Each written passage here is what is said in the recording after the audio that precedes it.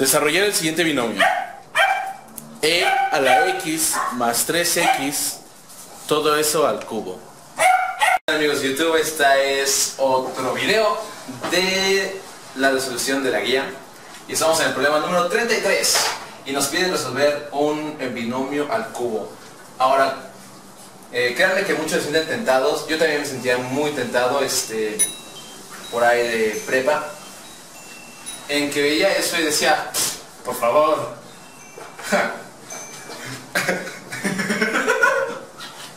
Pero no, no lo hagan. Porque cada vez que hacen eso, muere un quetzal. Es un ave. Está bonita. entonces, Era muy preciada. Ok, bueno.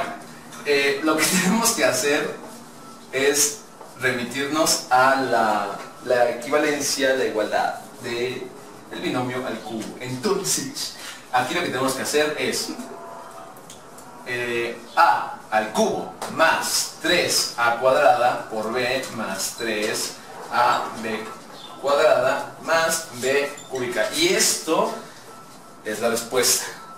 Entonces, vamos a tomar como, como a a e a la x y como b al 3x. Y solamente seguimos nuestra formulita, sin más ni más.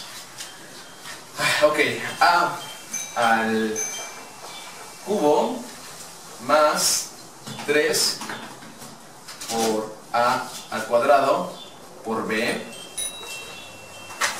Ah, Vamos a anotarlo por aquí. Ajá, nos quedamos en ese término. ¿Y qué haces con el perrito? 3 por a, que es e a la x, por b cuadrada, que es 3x al cuadrado. Y por último, 3x al cubo. Y ahora sí solamente este, resolvemos los exponentes. No se, no se espanten por el Euler, es como tener un 3, un 2, es una constante que vale 2.7 y muchos números. Entonces, solamente vamos a considerar como un número cualquiera. ¿Por qué es un número cualquiera? Cualquiera, cualquiera.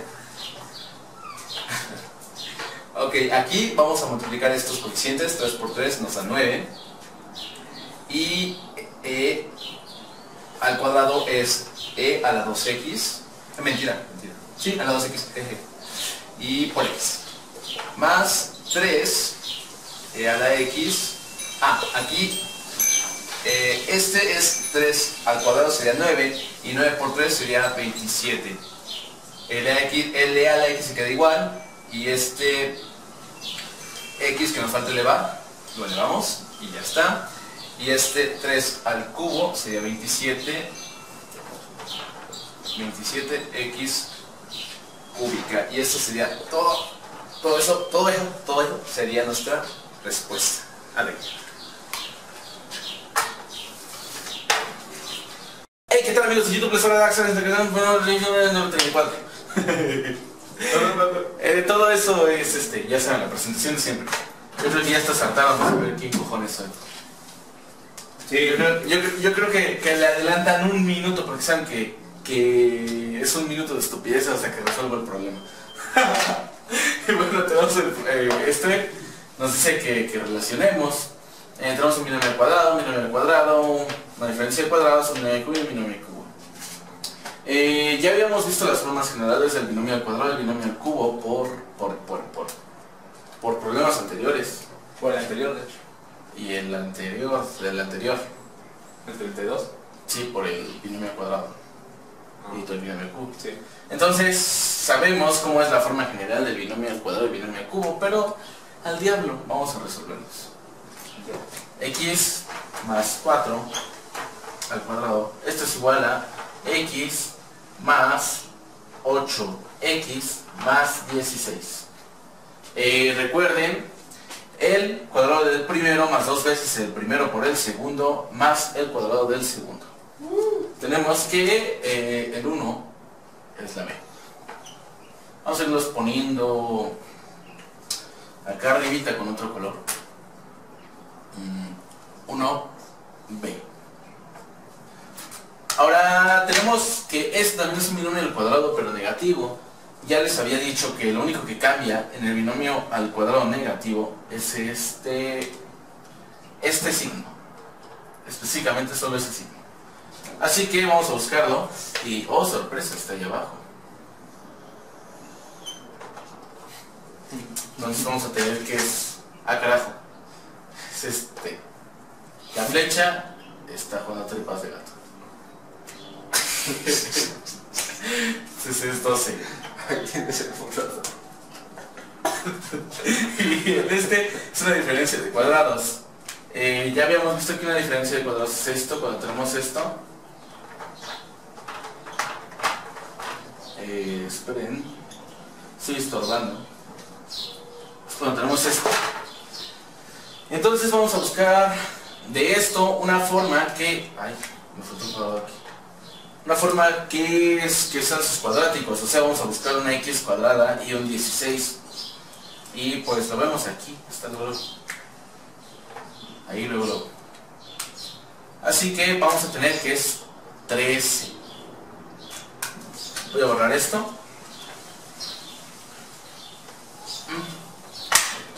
Y vamos a tener, eh, por último, el binomio al cubo.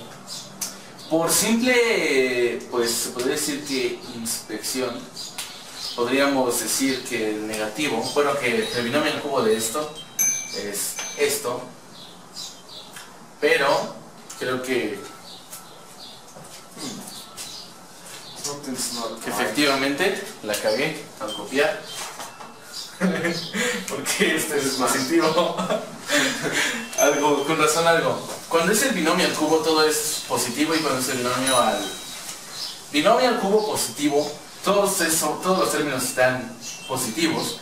Y cuando es el binomio al cubo negativo, el segundo y el último término son los negativos. Es más, menos, más, menos. Y así. Así que bueno, vamos a tener, vamos, vamos a realizar nuestro binomio al cubo.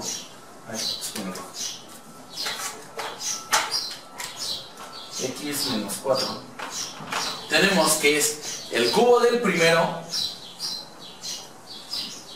menos, como es negativo, es menos 3 veces el primero al cuadrado por el segundo. Menos 3 que multiplica 4 y es 12 x cuadrada. Más 3 veces el cuadrado. No, tres veces el primero por el cuadrado del segundo. O sea, 3 por 16. 38.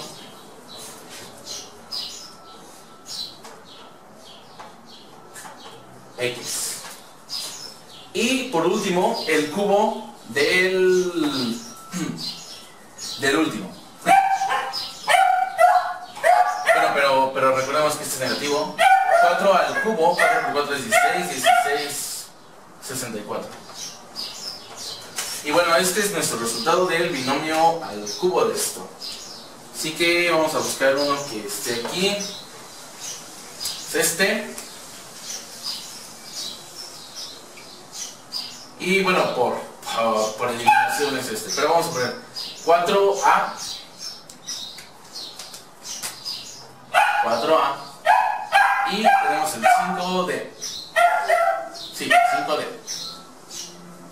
Pero bueno, recuerden que, que siguen la misma formulita de binomio al cubo eh, positivo, nada más que aquí le cambian a este positivo y todo es positivo. Así que bueno, este es el resultado. Este es el resultado de la guía del Instituto Politécnico Nacional. Factorizar la siguiente suma de radicales. Raíz de 12 más raíz de 27. ¿Qué tal amigos de YouTube? Estamos en el problema número 35 y nos piden reducir esta expresión. Ah, vamos a vamos a este, eh, expresar estas dos cosas ah, de diferente manera para poder trabajar con ellas. Entonces, a ver, este 6, vamos a expresar aquí, porque es 6 y el 27 lo podemos quedar como 9 por 3.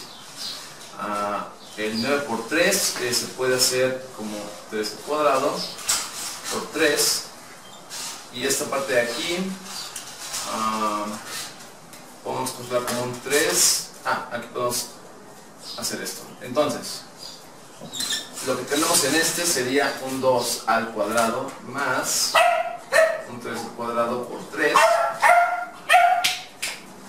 ah, recordemos que esto va a salir del radical estaba a punto de decir integral, que bueno que no lo hice.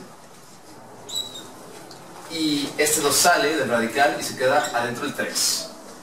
De este lado va a salir un 3 y se queda un 3 adentro.